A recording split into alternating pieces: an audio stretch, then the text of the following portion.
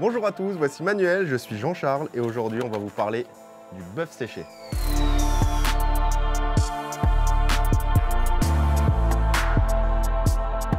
Euh, nous faisons cette vidéo avec Jean aujourd'hui parce que nous avons la chance à Broken Fist d'avoir trois marques de bœuf séché différentes en stock à l'instant T. Le Jack Links qui vous a montré. On a également à nouveau du Wild West qu'on avait il y a quelques années déjà mais qui était sorti des, stocks. Et la dernière marque, une marque euh, européenne, le Indiana Beef Jerky. Donc Wild West et Indiana sont deux marques européennes. Euh, petit historique sur le beef jerky. Comment on l'a connu, genre À chaque fois qu'on va aux US, vous le savez, on va au Walmart, c'est notre, premier, euh, notre premier stop. À chaque fois, on achète du bœuf séché. Euh, la marque qu'on retrouve le plus là-bas, c'est la Jack Links. Euh, il y a d'autres marques aussi. Il y, a d'autres marques. Genre, il, y il, y avait un Tillamook Country Smoker qui défonçait avec un truc jaune, une marque jaune, ouais. c'est hyper compliqué à importer le bœuf séché parce que c'est de la viande animale et et il y a plusieurs, euh, voilà, c'est au, niveau de la douane et tout ça, c'est super compliqué. Le Jackling, c'est celui qu'on peut retrouver le plus facilement en Europe. Et ça tombe bien, c'est aussi celui qu'on trouve le plus facilement aux États-Unis. Euh, dans toutes les stations-service, il y en a, dans tous les Walmart, dans tous les, dans tous les petits délits, il y en a. C'est un indispensable chez nous parce que c'est vraiment euh, une énorme vente, hein, le bœuf séché. On ne peut pas se permettre d'être en rupture de stock sur ce genre de produit parce que c'est vraiment emblématique de la culture américaine. Alors vous ne trompez pas de marque, hein. la première fois qu'on en a goûté aux États-Unis, on a été euh, horrifiés. Ah, c'était pas du bœuf séché, c'était une espèce de saucisse. Ouais, le Slim Jim. Slim Jim, c'était horrible. une marque, je, sais, sais pas si c'était Jack Links, je me rappelle plus, c'était il y a 10 ans. non, mais, puis en plus on avait acheté ça dans un truc, euh, dans une espèce de foire fouille oui, tout à 20 dollars. Donc voilà. truc moins cher qu'on pouvait trouver, donc forcément c'était dégueulasse. Et du coup, on a, on a, mis longtemps avant de, avant manger. Hein. Avant de recommencer, parce qu'on avait une première expérience qui était assez catastrophique, et au final, eh ben, on a bien fait de réitérer, parce que c'est excellent. C'est excellent, ouais, on en mange. Euh, donc moi, j'en mange vraiment que quand je suis aux États-Unis, donc là, ça va être l'occasion aussi de manger sur le territoire français, mais, euh, mais voilà. Alors, Comment est né le bœuf séché, Manuel Alors, le bœuf séché est né longtemps avant JC. Non, euh, c'est un problème de conservation. La viande séchée et fumée se conserve plus longtemps que la viande crue, évidemment. Donc, les Indiens d'Amérique euh, fumaient déjà euh, leur viande et la transportaient à cheval hein, sur leur selle, entre eux et leur selle. Enfin, ils n'avaient pas de selle à cette époque, c'était une espèce de tapis hein, sur le dos du cheval, ce qui montait à cru. Donc sans la douleur, donc j'imagine. Euh, bon bref, des, bonhommes quoi. Des, des... bonhommes quoi. Et donc ils mettaient la viande séchée entre eux et le cheval, elle se conservait euh, comme ça. Bon, elle était déjà fumée et séchée, elle se conservait comme ça, ils pouvaient la transporter facilement aussi parce que c'est quelque chose de léger. On en parlera après euh, de cet intérêt là. Voilà, donc c'est quelque... un produit qui est vieux pas vieux comme le monde, mais c'est un produit qui est vieux. On, retrouve, on en retrouve aussi dans plein de cultures différentes. Hein. Ça s'appelle pas forcément du bœuf séché, mais, euh, mais je sais que... Afrique du Sud aussi, euh, du biltong. du biltong, ouais, ouais. Euh, c'est... Faire du porc séché aussi, il y a des versions de poulet séché, mais là on n'en a, pas. du saumon séché, je crois que j'ai vu passer, ouais. The Wild West qui fait cette. on en avait à un moment donné, on en avait acheté du saumon, du Wild West. Alors, c'est hyper protéiné, c'est pas gras du tout et hyper protéiné, ce qui fait qu'on a beaucoup de, personnes qui font du, sport de haut niveau. Du sport de haut niveau qu'on achète en fait, ouais. C'est euh, destiné à la base aux alpinistes, euh, aux, sportifs de haut niveau, puisque c'est un produit qui est léger et donc il peut se mettre dans sa poche. Euh, c'est pas très lourd et c'est hyper protéiné, donc ça apporte plein de calories lorsqu'un gros effort est nécessaire, notamment le froid dans la montagne. C'est important et c'est intéressant d'avoir ce genre de produit. Voilà. Alors petit disclaimer avant de continuer, c'est sans doute un des produits les moins écologiques qu'on ait euh, en boutique. Hein. Euh, donc le Jack Links, le, le, Jack Links surtout parce qu'il n'est pas produit en Europe. C'est euh, de la viande de bœuf brésilienne, je crois, de mémoire. Donc c'est déjà super éloigné. C'est déjà super éloigné en termes de pour, pour faire grossir un bœuf. C'est un des trucs les plus, les plus polluants de la planète. Et une fois qu'on l'a fait grossir, qu'on l'a bien engraissé, ben, en fait, euh, on prend sa viande et euh, on enlève toute l'eau qu'il y a dedans. Sachant que l'eau, c'est l'ingrédient le, plus important pour... c'est ce qui constitue la masse principale de la viande. C'est ce qui constitue la masse principale de, de, la viande. Et en plus de ça, une fois qu'il a été fabriqué, bam, il est transporté jusqu'en Europe. Donc, Déjà, si.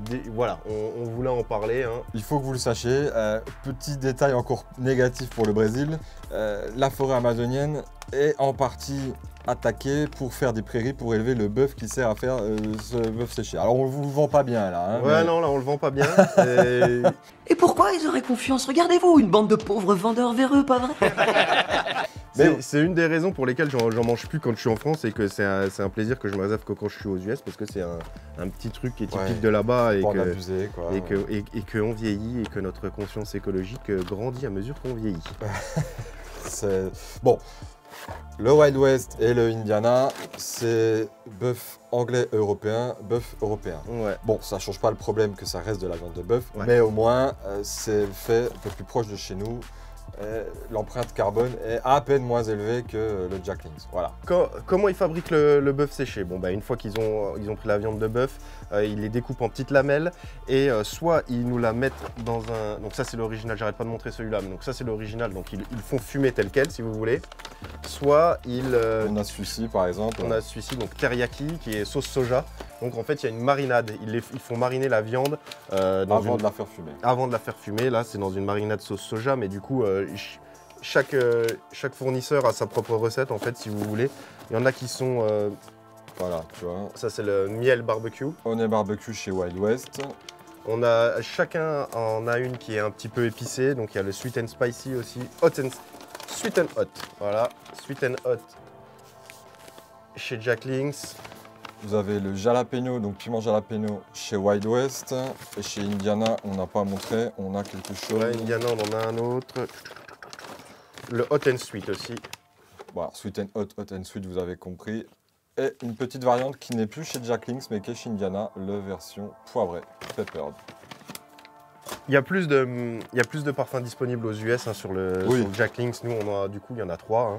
Il y a le teriyaki, hot and sweet ou sweet and hot et euh, le, le original. Le original, c'est celui qu'on vend le plus. C'est pas mon préféré. Moi, mon préféré, c'est toujours le teriyaki.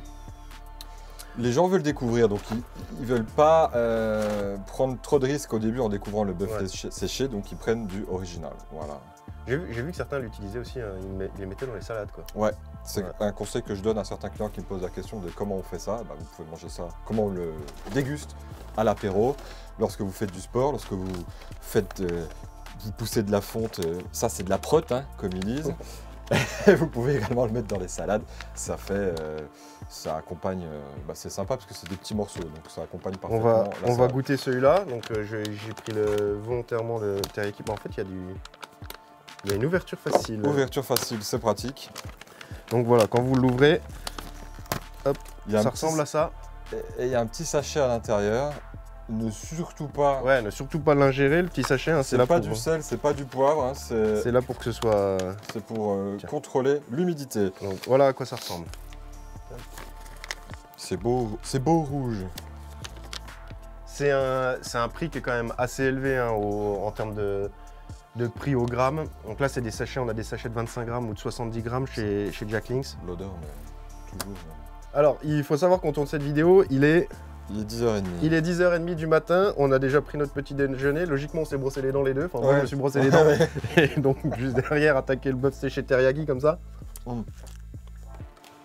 Donc, contrairement à ce qu'on peut voir, c'est quand même assez euh, moelleux. C'est pas très. euh, Ça fond. Ça fond un petit peu sur, sur la bouche. C'est- pas caoutchouteux. Non. En tout cas, le Jacklings, il, il est vraiment bon pour ça. On en reprend. Alors, je vais vous montrer aussi le petit sachet dont on parlait là. C'est hyper fondant. Donc ça, c'est le petit sachet dont on parlait. C'est marqué en gros dessus Do not eat, do not Do not open. eat. Euh, on en reparle, on insiste dessus parce qu'on a quand même des clients qui ont cru que c'était du sel et qui l'ont ouvert et qui ont. euh, Oh oh, alerte qui, qui en ont mis sur le bœuf séché. Donc voilà, ça, ça se mange pas. Ça, vous le prenez, vous le mettez à la poubelle ou dans un truc que vous voulez, euh, vous voulez garder Non, au ça sec. se jette. Ouais, jetez-le. Mais, mais voilà quoi. Bien. Un petit goût de reviens-y. Donc là, on a pris la version teriyaki. Mmh. Elle est- le, le côté euh, Ça me rappelle l'Amérique. le côté sauce soja n'est pas non plus. euh, Non, ça va. Moi, je. tac. Si tu me l'avais pas dit, euh, Il y a des lamelles qui sont plus ou moins épaisses hein, de- dedans. c'est très addictif. En fait, Ouais. ça me rappelle nos road trips où on mangeait, on picorait ça, on mangeait ça et en fait, ça coupe la faim sans, sans être gras, quoi. Ouais. Je sais qu'on mange gras quand on est aux USA. Du coup, avec ça, ça c'est plutôt pas mal. C'est assez bon. Bah, C'est- super bon. Enfin, ça me fait penser à la route beer, tu vois. C'est soit on adore, soit, soit on n'aime pas du tout. Quoi. Ouais. C'est pas d'avis tranché. Quoi. Enfin, c'est des avis tranchés, Mais- c'est pas. bon, si vous aimez la viande de bœuf, commencez peut-être pas par le teriyaki, quoique, mais c'est quelque chose que vous apprécierez, Tu certainement. veux, tu veux goûter lequel maintenant sur le Wild West Histoire qu'on fasse un petit comparo. Euh, Ah, quelque chose de relevé, s'il te plaît. Alors, Histoire d'avoir. un jalapeno quelque part Alors, on prend le gros format. hein. On va devoir tout finir. Pareil. Ah, je Alors, pense aussi à autre chose. Il y a- on avait des formats en, en bar de Jack Links. Ouais. Euh, ça, on fait plus en snack bar. Euh, C'était un, un flop. Hein. Donc là, on attaque le Wild West. Bon, il y a un petit arrière-goût relevé sur le teriyaki. Là, tu vois, je commence à le sentir. tac, y a pas de. bon, on est sur le même. Celui-là, on a le gros paquet. Le gros paquet de Wild West, il fait 70 70 grammes également. Donc vous risquez pas de vous tromper. Tiens. On est sur le jalapeno. Moi, j'ai un petit faible pour le, le nouveau design des Wild West en fait. Ça change pas le goût, mais euh, toujours agréable. J'ai l'impression que ceux-là sont un petit peu plus, euh, un, petit, un petit peu plus petits. Mm. La texture est légèrement différente que celle du, du Jack Links. Ouais. Et il est un peu moins chewy, je trouve. Oui, il est moins chewy, c'est ça. Et il est un peu plus relevé. Ouais, Ouais. bon, je commence à le sentir là, le jalapeno.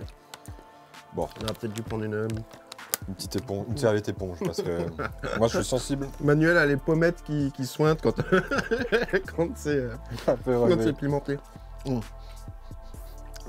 Il n'y a pas de. Je trouve que ça a une odeur euh, beaucoup moins prononcée que le. Ouais. Alors que le sachet est deux fois plus gros.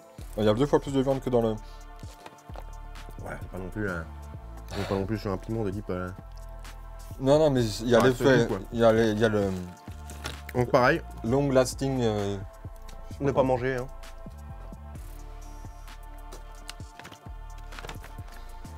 Ouais, il est cool aussi. Euh, mais je préfère du coup encore le teriyaki chez Jack Links pour le coup. hein. Ah ouais? Ouais. Parce que la texture?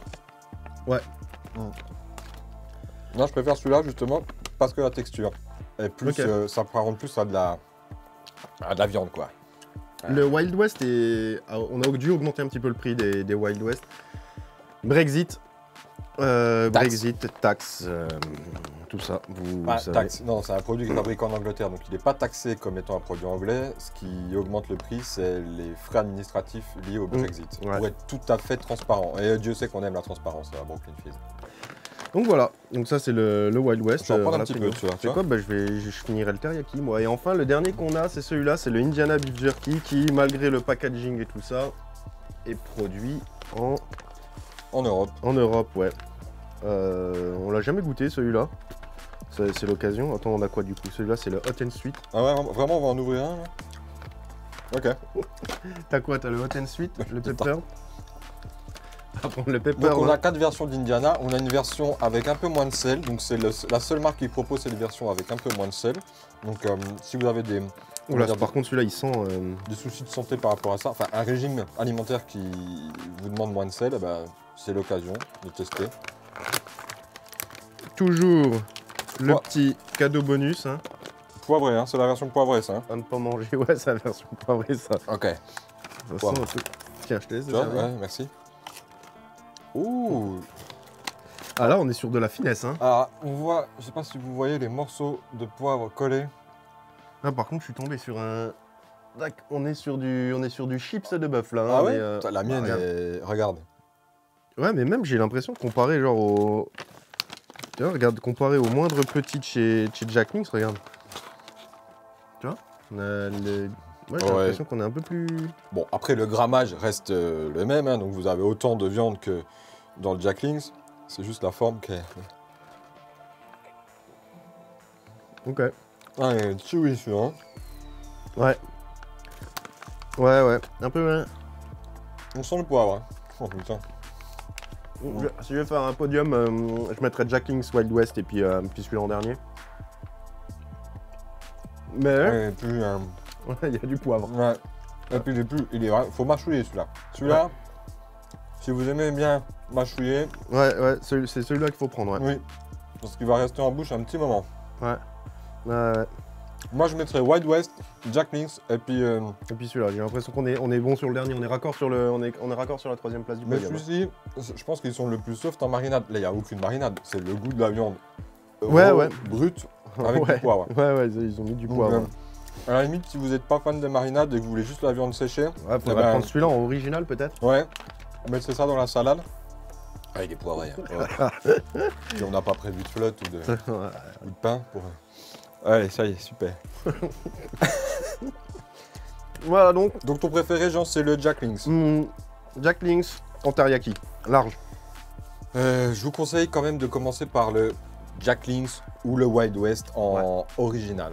Euh, si vous êtes vraiment pas sûr, si vous n'êtes pas, euh, comment dire, si vous êtes un peu péteux- Hésitant. ouais, hésitant, euh, partez sur du original.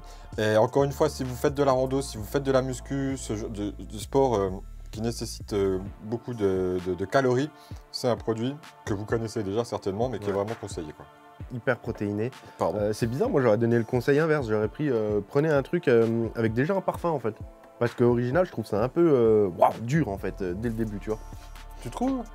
Bah, c'est un peu le sentiment que j'ai eu la première fois que j'en ai goûté, juste l'original. Alors que là, t'as une espèce de porte d'entrée avec la sauce soja, tu vois, par exemple. Ah ouais. Bah c'est le.